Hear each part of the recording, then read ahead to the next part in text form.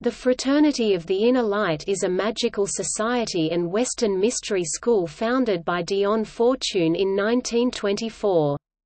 It operates from London and accepts pupils.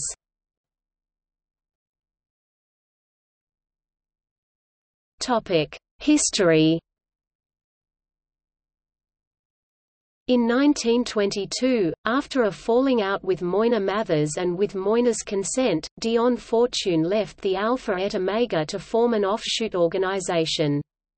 This indirectly brought new members to the Alpha et Omega. Fortune's group was later renamed, the Fraternity of the Inner Light, and was, later still, renamed, the Society of the Inner Light.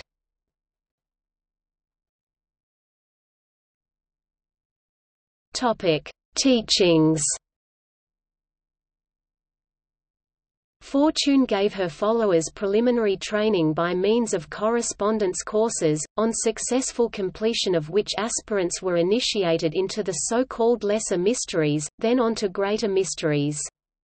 These lesser mysteries were roughly equivalent the outer order of the Golden Dawn, and the greater mysteries were roughly equivalent to the old inner order of the Rosae Rubeae et Aureae Crucis, Ruby Rose and Golden Cross, or the RR et AC. During its early years, the Fraternity of the Inner Light used many unchanged versions of the Golden Dawn initiation rituals which, as Francis King notes, had a semi-amicable relationship with the Stella Matutina. However, alterations were introduced and eventually the ceremonies used bore no resemblance to those of the Golden Dawn, with the exception that they were constructed on the same principles. The name fraternity referred to the inner plane group, and the word society referred to the physical plane group and those members currently incarnated.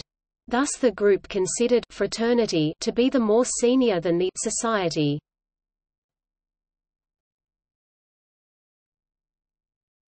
Topic. See also. Secret Chiefs. Margaret Lumley Brown. Israel Regardie Notes